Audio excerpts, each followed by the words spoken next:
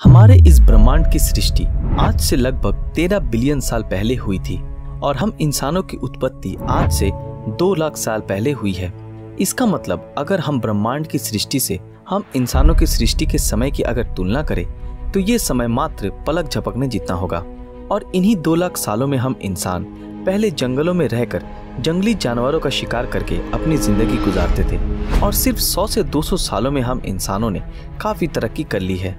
और आज हम पूरे पृथ्वी पर राज करते हैं। आज हमारी साइंस और टेक्नोलॉजी बहुत ज़्यादा एडवांस हो चुकी है और आने वाले सालों में हम और भी ज़्यादा एडवांस होने वाले हैं। और इन सारे साइंस और टेक्नोलॉजी के एडवांसमेंट के पीछे सबसे महत्वपूर्ण योगदान है ऊर्जा का।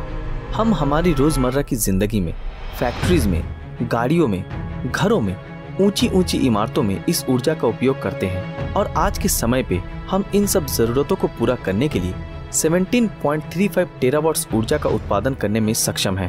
हम ये सोचते हैं कि हम चाँद तक पहुँच चुके हैं। हर रोज स्पेस में सैटेलाइट्स भेज रहे हैं सुपर कंप्यूटर्स का आविष्कार कर रहे हैं और आने वाले समय में मार्स पर रहने के बारे में प्लान बना रहे हैं। और इन सबको देखकर हमें ऐसा लगता है कि हम बहुत ज़्यादा एडवांस हो चुके हैं। लेकिन ये तो कुछ भी नहीं है। इस वीडियो को पूरा देखने के बाद आपका ये भ्रम भी टूट जाएगा। साल 1964 में सोवियत एस्ट्रोनॉमर निकोलाई कार्डासेव ने पूरे ब्रह्मांड के सिविलाइजेशन की आधुनिकता का परिमाप करने के लिए एक स्केल का निर्माण किया, जिसका नाम है कार्डासेव स्केल। इस स्केल का मेन बेसिक ये है कि एक सभ्यता हर साल कितनी ऊर्जा का उत्पादन करती है और कितनी ऊर्जा का उपयोग करती है, क्योंकि ऊर्जा ही आधुनिकता की जान है और इसी के आधार पर हम किसी भी सिविलाइजेशन की आधुनिकता का सटीक परिमाप कर सकते हैं। इस स्केल के आधार पर आधुनिकता के हिसाब से कार्डासेफ ने अपनी थ्योरी में तीन तरह के सिविलाइजेशन के बारे में बताया, और वो है type one civilization, type two civilization और टाइप थ्री सिविलाइजेशन। और आज की हमारी ये वीडियो इसी विषय पर आधारित है। मैं आप लोगों को बता दूँ कि ये स्केल लॉगरिदमिक तरीके से काम करती है। इसका मतलब ये कि जैसे जैसे हम एक एक स्टेप ऊपर चलते चले जाएँगे वैसे वैसे ऊर्जा की ज़रूरत इसके मल्टीपल्स में बदलती चली जाएगी। चलिए अब इन सिविलाइजेशन के बारे में विस्तार से जानते हैं। Type one civilisation. कार्डासेप की रिसर्च के मुताबिक, टाइप वन वो सिविलाइजेशन है जो अपने पूरे ग्रह की सारी ऊर्जा को कंट्रोल करने में सक्षम है। इसका मतलब एक ऐसी सभ्यता जो अपने ग्रह पर मौजूद सारे नेचुरल रिसोर्सेज का पूर्ण इस्तेमाल करने में और सूरज से आने वाली रोशनी को एब्जॉर्ब करके उसका पूरा इस्तेमाल करने में सक्षम है। लेकिन हम हमारे सूरज से आने वाले ऊर्जा का पूर्ण इस्तेमाल अभी भी नहीं कर पाए हैं। एक रिसर्च के मुताबिक, हम सूरज से आने वाली ऊर्जा का मात्र चौदह हज़ार भाग का एक भाग इस्तेमाल करने में सफल हुए हैं। और इस आंकड़े को देखकर हमें ये लगता है कि हमें टाइप वन सिविलाइजेशन बनने में ही कई हज़ारों साल लगेंगे। लेकिन दोस्तों, आप दिल छोटा मत करिए, क्योंकि जैसे मैंने आप लोगों को पहले बताया था कि ये एडवांसमेंट का ग्रोथ लॉगरिदमिक है, और इसका मतलब ये कि हम पिछले हज़ारों सालों में जितने एडवांस नहीं हुए हैं, आने वाले 100 या 200 साल में इससे कई गुना ज़्यादा एडवांस सिविलाइजेशन बन जाएँगे। क्यों? सुनकर अच्छा लगा। टाइप वन सिविलाइजेशन बनने के बाद हम हमारी पृथ्वी को अपने कंट्रोल में कर पाएँगे। हम मौसम बदल पाएँगे। पृथ्वी का रूप पूर्ण रूप से अपने हिसाब से चेंज कर पाएँगे और जाने कितना कुछ कर पाएँगे।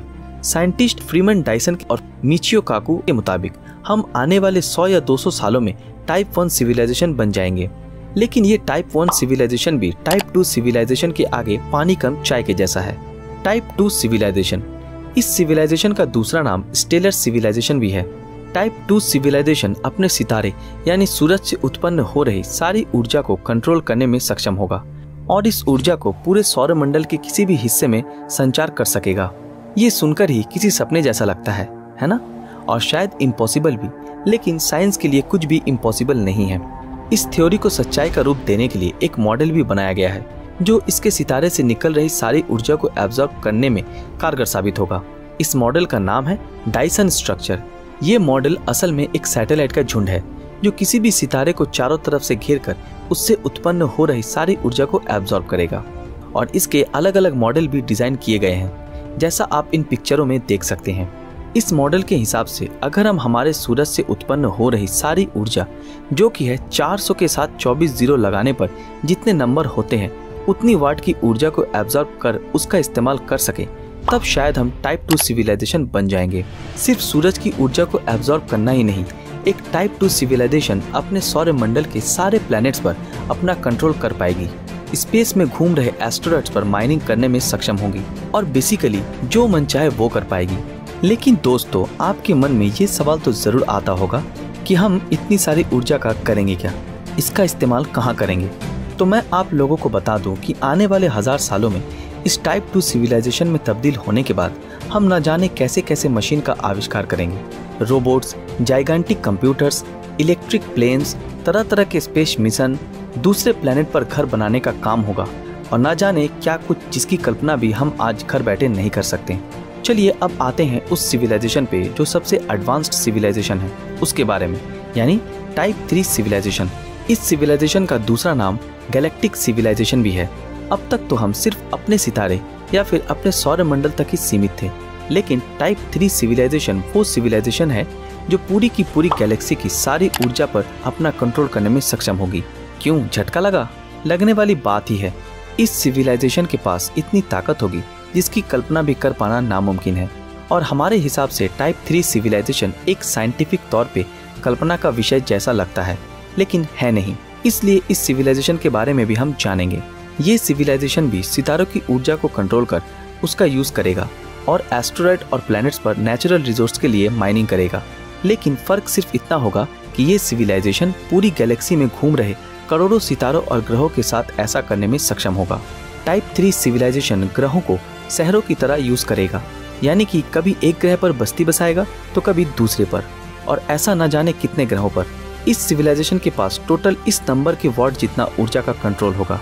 बस आप आँखें बंद करके ये कल्पना कीजिए कि एक ऐसा सिविलाइजेशन जो गैलेक्सी के सारे ग्रहों पर अपनी बस्ती बसाकर, सारे सितारों में डाइसन स्ट्रक्चर के मॉडल की मदद से सारी ऊर्जा को एब्जॉर्ब कर रहा है। सोच कर ही हमारे रोंगटे खड़े हो जाएँगे।